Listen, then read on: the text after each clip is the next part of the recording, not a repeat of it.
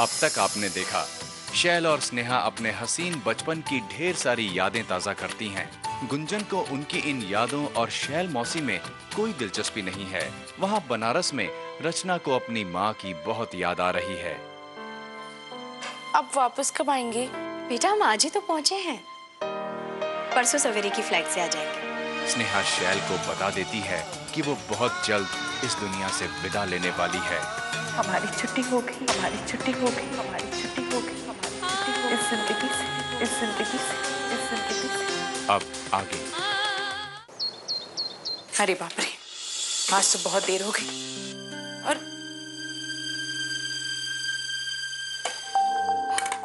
Breakfast ready है? ये सब कुछ दीदी ने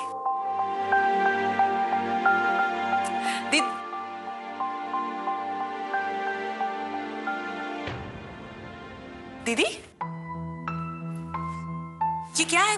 कहाँ जा रहे हैं आप? पहले नाश्ता कर लो फिर बताते हैं। आज हमने तुम्हारी सब मनपसंद चीज़ें बनाई हैं। नहीं दीदी लेकिन ये सब किस लिए? स्नेहा आज तुम जिस हालत में हो तुम्हें घर पर नहीं अस्पताल में होना चाहिए। और तुम हमारे साथ वहीं जा रही हो। पहले ही बहुत देर हो चुकी है। अब और देर नहीं। इसलिए फटाफट खाओ और चलो हमारे साथ। चलो जल्दी।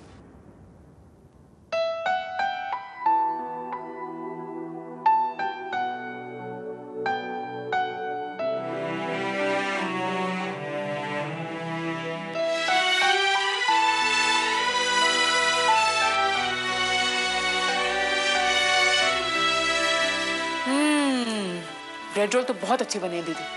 टू गुड दीदी। मैं अपनी कुंचन को छोड़कर आपको छोड़कर अपने इस घर को छोड़कर कहीं नहीं जा रही स्नेहा। दीदी अब कोई फ़ायदा नहीं है। बहुत देर हो चुकी है। स्नेहा अब तुम पंद्रह साल की बच्ची नहीं रही कि तुम जिद करते जाओ और हम मानते जाए? पोए आपने बनाया ना? अच्छे ही बने होंगे। ट्राई करते हम्म, मस्त दीदी।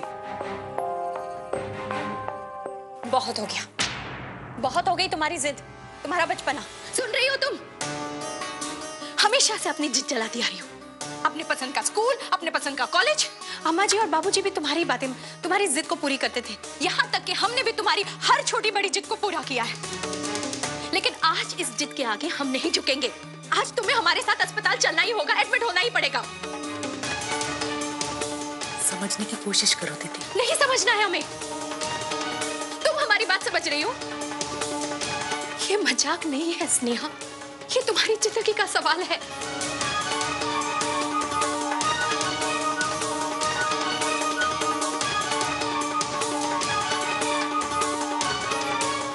माना कि हम एक अच्छी बहन। एक अच्छी बेटी। नहीं बन सके। लेकिन माफ़ी मांगने का हक तो रखते हैं। चलिए, आज, अभी, हमें अपनी सारी गलतियों के लिए माफ़ कर दीजिए। नहीं, स्नेहा। हमारे मन में कोई मलाल नहीं है। तुम तो हमारी बहन हो। अपनी ही बहन से कोई पैर रखता है क्या? हुँ? और ऐसी बहन जो माँ से ज़्यादा हमसे चिपकी रहती थी?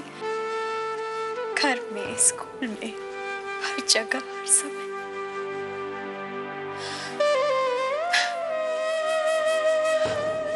अगली, हमने तुम्हें कभी अपनी बहन माना ही नहीं।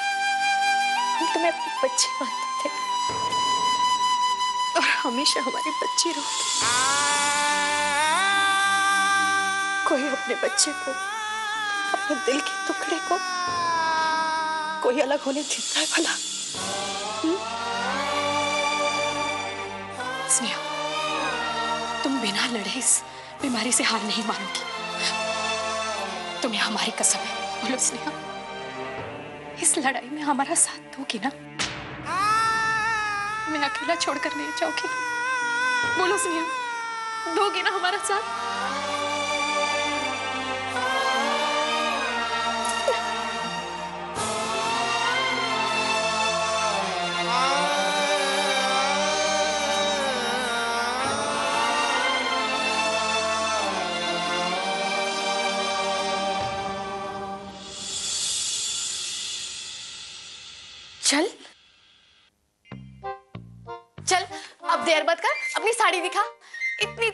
तारीफ़ कर रही थी।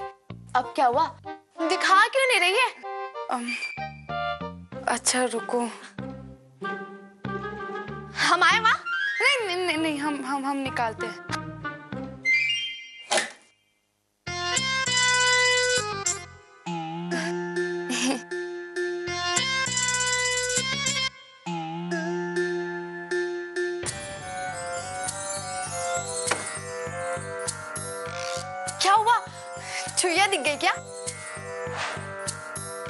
नहीं हाँ शायद प, प, प, पता नहीं। छुइया है तो मारना। लाओ हम मार देते हैं। नहीं नहीं नहीं नहीं नहीं वो अ, वो चूहे दाने रख देंगे ना तो वो चली जाएगी। अच्छा वो सब छोड़ो। अपने कपड़े दिखाओ।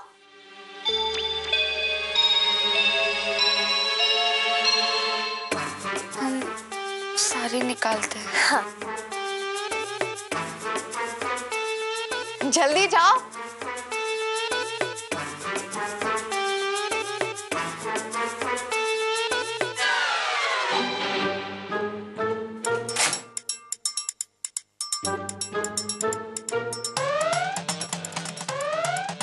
क्या कहने?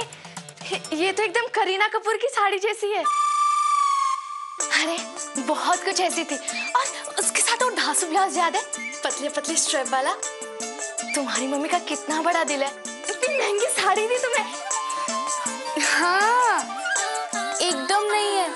पता है, मम्मी ने आज तक कभी नहीं पहनी। तो आज इसका श्री गणेश कर दे। चलो, अब हमें पहन कर दिखाओ। ऐसा करो, ब्लाउज के साथ पहनना।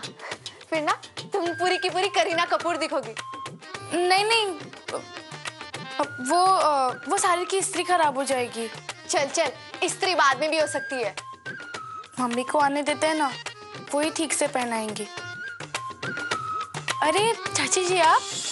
नमस्ते चाची जी। नमस्ते। नमस्ते चाची जी। नमस्ते। क्या तैयारियाँ हो रही है? वही फेयरवेल पार्टी की। अभी देखिए ना। चारा कह रही है कि अभी साड़ी पहन ले लेकिन अभी कैसे? अरे छाया ठीक ही तो कह रही है।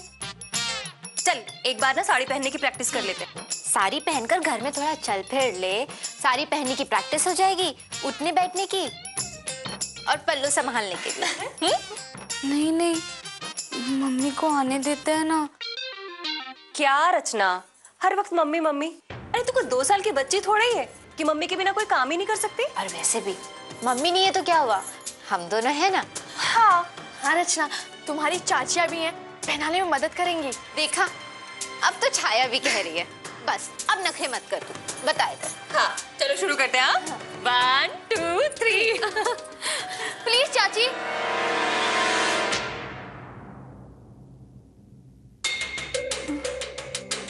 प्लीज़ रहने दीजिए ना। मम्मी आएँगी तो हमें वो पहना देगी। ठीक है। अब नहीं नहीं नहीं नहीं, ऐसा नहीं है कि अब पहना नहीं सकती। बस हमें थोड़ी शर्म आ रही है।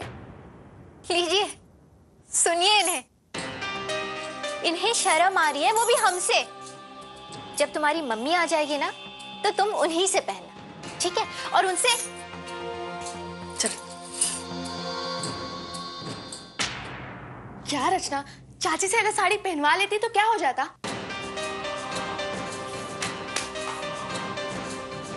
तू ठंडा ही पिएगी? नहीं पिएगी तो तू भी जा। है क्या हो गया तुझे? ठीक है, मैं जाती हूँ। फिर पार्टी वाले दिन मत बोलना कि मैं बहन जी दिख रही हूँ। ठीक है? के बिना कुछ भी ठीक नहीं हो रहा है। कुंजन से ये बात छुपाकर तुम उसके साथ ठीक नहीं कर रही हो। अगर उसे अभी इसी वक्त इस सब के बारे में पता चल गया तो? और फिर कल गुंजन का शो है। ये कैसा शो है कि तुम मेरी बहुत ही खास शो है दीदी। और वो बच्ची सिर्फ़ हमारे लिए कर रही है। हमें बिना बताए। ये कहकर कि मामा मैं स्टेज पर नहीं होंगी। लेकिन आपको देखने आना है। हम समझे नहीं। हमें सरप्राइज़ देने के लिए, हमें खुश करने के लिए। हमारी बच्ची हमारी खुशी के लिए इतना सोच सकती है तो तो हम उसकी खुशी कैसे छीन सकते हैं, दीदी? और अपना इलाज ना करवाकर, अस्पताल ना जाने की जिद पकड़कर तुम उसकी खुशी नहीं छीन रही हो। स्नेहा कैंसर का इलाज है। इसलिए तुम अभी इसी वक्त हमारे साथ अस्पताल चल रही हो। चलो चलो।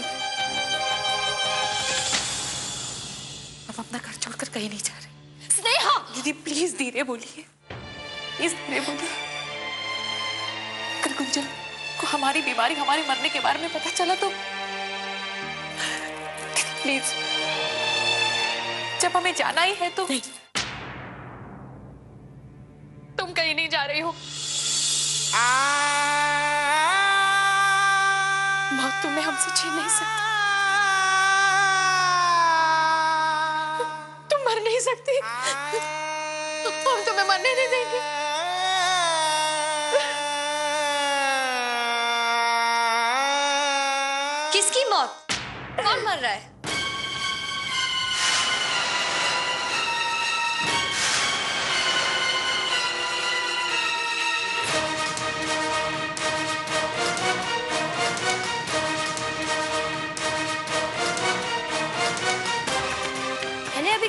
मौत की बात सुनी।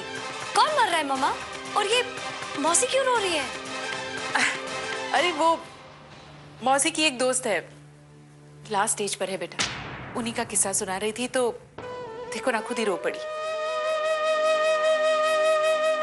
Are you sure, मामा क्या यही बात है या, या कोई और बात है? नहीं? और क्या बात हो सकती है?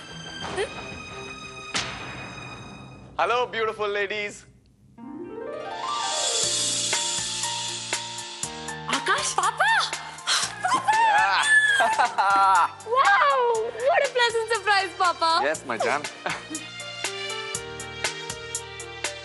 आप कैसी हैं? ठीक है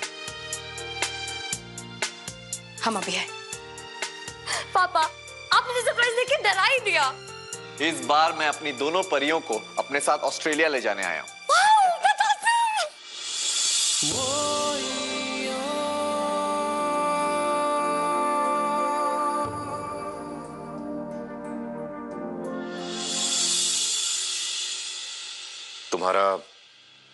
एक दिन का कार्यक्रम था ना?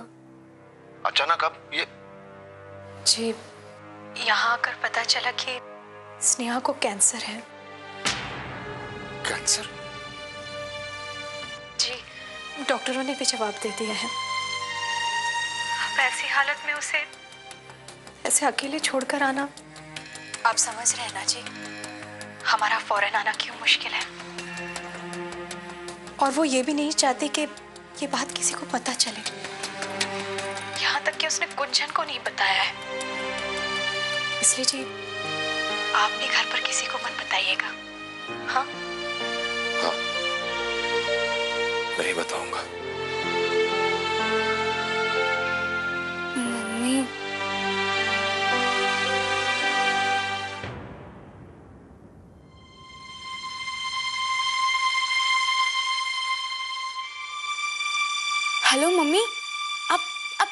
है कल?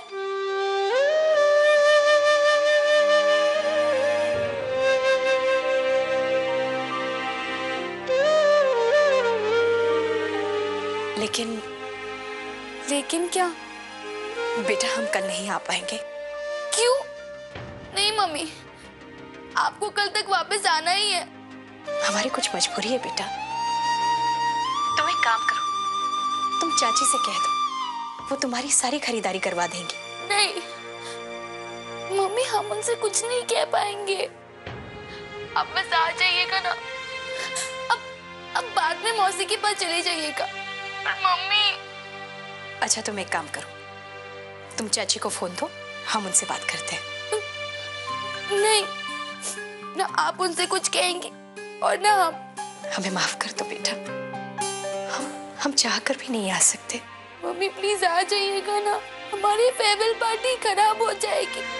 हमने आपसे कुछ नहीं मांगा है, मम्मी। मम्मी प्लीज़ आप आ जाइए ना, ऐसे क्यों कर रहे हो, मम्मी? रचना? Hello hello